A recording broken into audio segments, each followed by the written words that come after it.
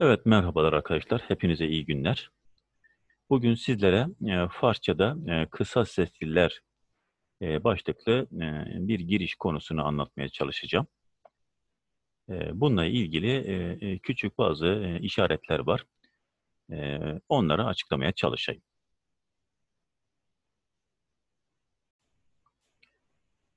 Evet arkadaşlar, e, Farsçada e, kısa sesliler olarak e, üç tane işaretimiz var. E, bunlardan birincisi e, fetha Arapçada da kullanılıyor. Bunlar zaten hep Arapçada alınma. Fetha yani harfin üzerinde şöyle bir işaret. Bunun adı fetha. E, Farsçada buna zeber. Türkçede ise üstün adı veriliyor.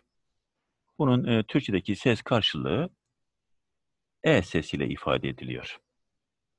Yani fetha işaretimiz e sesiyle e, Türkçe'de ifade ediliyor. Mesela bununla ilgili bir örnek verelim. Mesela bir harf üzerinde. Elif'in üzerinde bu işaret geldiği zaman, tabi bu normalde harekeler Farsçada e, yazıda gösterilmez. Ama başlangıçta e, yani sesleri, kısa sesleri göstermek için yardımcı unsur olarak kullanılıyor. Mesela bu Elif'in üzerinde böyle bir işaret olduğu zaman E. Mesela bu B harfi. Buna mesela kısa bir E sesi vermek için böyle bir fetha koyduk. B. Bir P harfi. Yine böyle bir işaretimiz var. P. E. B. P. E. B. P. Tabi bu Türkçedeki E sesi yani bu çok açık bir E sesi. Farsçada bu biraz daha yatık bir E sesidir. Onu da göz ardı etmemek lazım.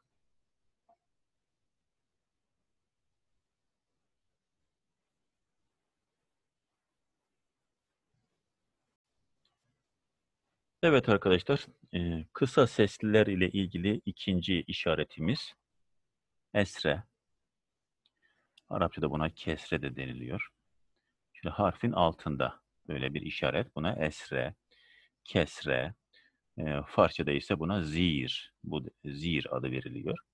Harfin altında bir i sesidir. Evet bunu da Türkçedeki ses karşılığı i sesi. i ile e, karşılık verebiliriz buna. Bu da biraz önce mesela Elif, B, P'den vermiştik. Şimdi de diğer harflerden verelim. Mesela T harfi T harfini biliyoruz. Harfin adı T. Yazılışı da böyle. Bunun altına bir tane bir bu işaret olduğu zaman T. S harfi. Tabi bu Arapçada peltek S şeklindedir ama Farsçada peltek S yok. Türkçedeki S ünsüzüyle aynı şekilde telaffuz ediliyor. Altına bir kesre ya da Farsça ismiyle zir işareti koyduğumuzda Si. Yine bir diğer harfimiz Cim. Harfin adı Cim. Tabi Türkçedeki karşılığı C ünsüzü. Bunun da altına bir esre koyduğumuzda Farsçadaki adıyla zir, Arapçadaki adıyla kesre koyduğumuzda G diye telaffuz etmemiz lazım. Ne oldu bu durumda? T, C, G. Tabi bunlar uzun değil. T, C, G. Bu şekilde telaffuz edilmesi gerekiyor.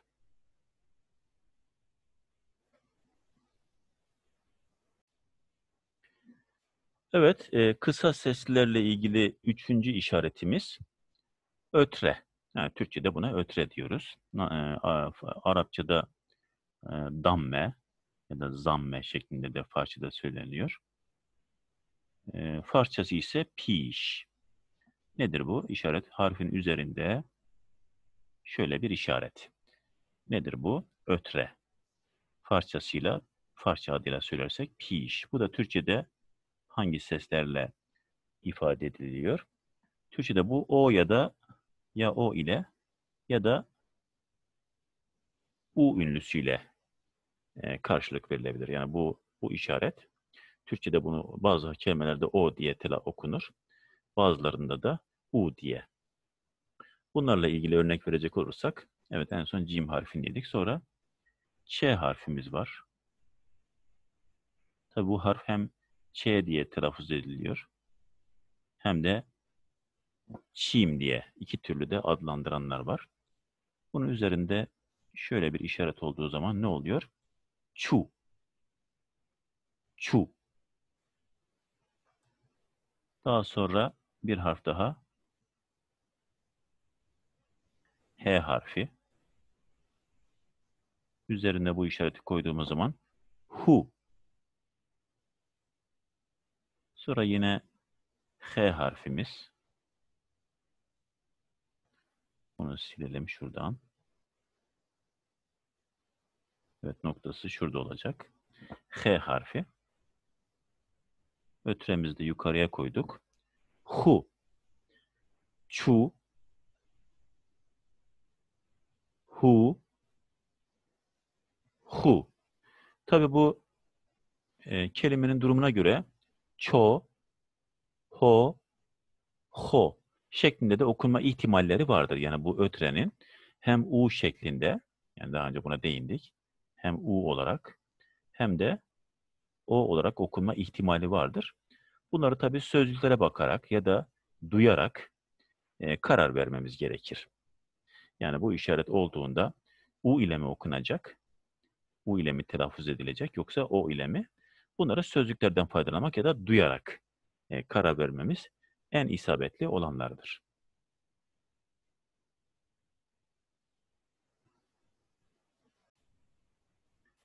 Evet arkadaşlar, şimdi bu kısa sesler ve işaretlerle ilgili birkaç harf üzerinde uygulama yapalım.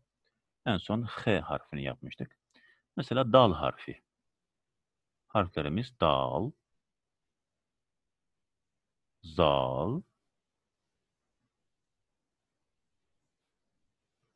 re. Evet harflerimiz bunlar. Dal, zal, re. Mesela dalın üzerine bakın bu işaretlere koyuyorum. Zala da koyuyorum. R'ye de koyuyorum. Bu ne oldu? D, Z, R. D, Z, R. Esresini koyalım. D, Z, R. Ötresini koyalım. Du, zu, ru. Bakın tek tek okursak de, di, du. Z, zi, zu. Re, ri, ru.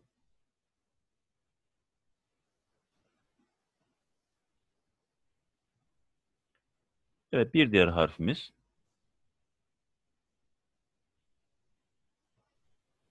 Evet.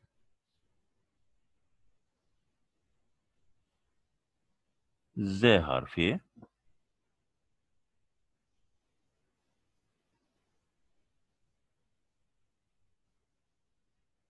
J harfi.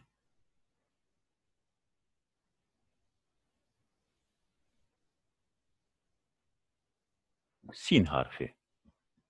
Evet bunlara da önce fethalarını koyalım. Z J S esrelerini koyalım. Farsça adıyla e, zir Z J Si ötrelerini koyalım.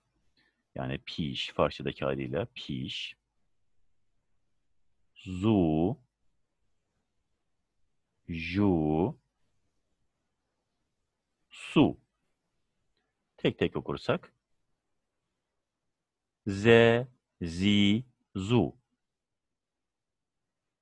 J, ji, ju. S, si, su. Evet bu harfler tabii çoğaltılabilir.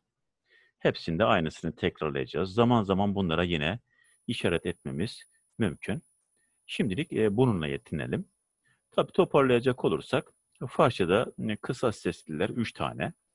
Birincisi fetha, yani Türkçesiyle söyleyecek olarak üstün. E, Farsçasıyla söyleyecek olursak e, zeber.